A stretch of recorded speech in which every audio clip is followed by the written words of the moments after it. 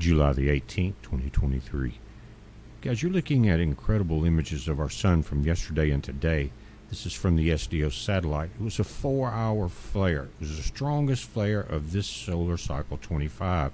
We're starting to see it uh, continue to peak this 11.8 year cycle.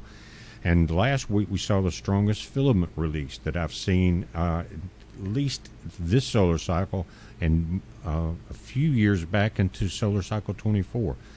But what happened here, this was not a filament release with the dark ribbons that you saw. This was a solar flare with a very powerful corona mass ejection. And guys, just to, it's hard to relate the size of the Earth to the Sun, but I think it's about if you took a hundred and about twenty of our Earths and just lined them up across that picture to scale, that's how many it would take to go across there.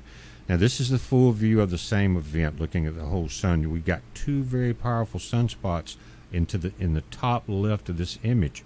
Now, let's look at the same satellite, but it has 12 different cameras. This is called the Teal filter.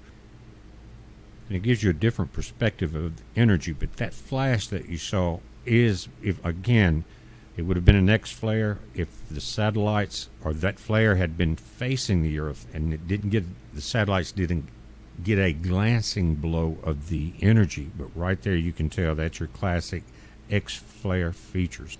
And you can see the uh, plasma radiate out from this. But guys, when we look at this on the SOHO, which we're about to do, different satellite here, watch this. This starts back on the 15th, so it's going to go through up until now. And you're seeing activity pick up. We've been seeing that for the last few months uh, get stronger and stronger. There's one on the 15th and last night at midnight, we got one that left on the 14th. It was a weak one. I'm not sure about the Aurora report, but we did see a 5.7 down uh, in Mexico along the uh, San Andreas Fault, Ring of Fire, excuse me. But uh, guys, um, there's a comet coming in right there, and where it dives into the sun is where this powerful uh, flare comes from. Now, you're looking at, again, a different satellite. It this one has the disk over the sun so you can see the features around it. If not, it would be too bright to see the space around it. Again, the 17th, notice your timestamp. And as we get closer and closer to where we're at now on the 18th, you're going to see some amazing images. As a matter of fact, the satellites are going to start picking up energized particles, and we haven't seen that at all this solar cycle. Look at that. Now, see all of these white energetic particles, they are blown out towards the satellites. Uh, in this case, again, the SOHO LASCO C2 and C3. But uh, amazing. Now, look, this is where they were de- uh, detecting the flare, called the solar flare detection. Right there, um, you can see the long section right there, and it tells you how long that flare lasted at least four hours, and the peak is cut out of the thing right there. The red line would be X flare, if you notice on your left. But again, it was a side glance of our satellites, but we're not going to get a too much of a side glancing blow from this coronal mass ejection because it fully haloed the sun. But right there, notice the U.S. and Mexico. That's where the ionization in the atmosphere occurred from the flare.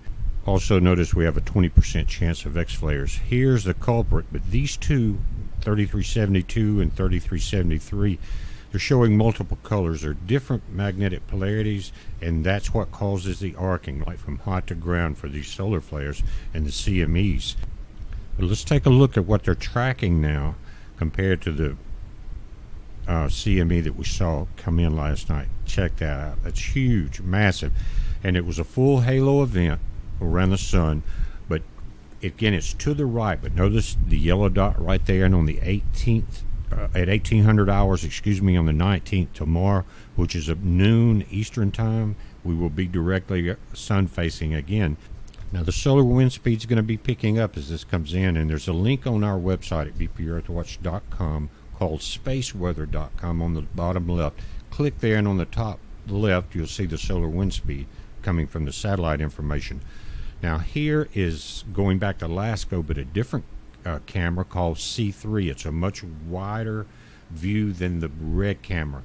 Right here where it's paused, you can see what I was talking about, about the halo effect. This thing blasted up, out to the sides, round to the bottom, and look uh, at the section right here in the bottom quadrant where the flare came out.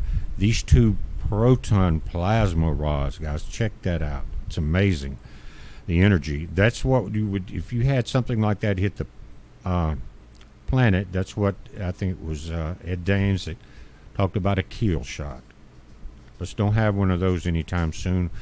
But uh, we know that there's going to be some heat involved. We've been up to it's 110 now here. It's been up to 111 real feel. But when we talk about the biblical aspects of that fervent heat that takes out all the negative things on earth,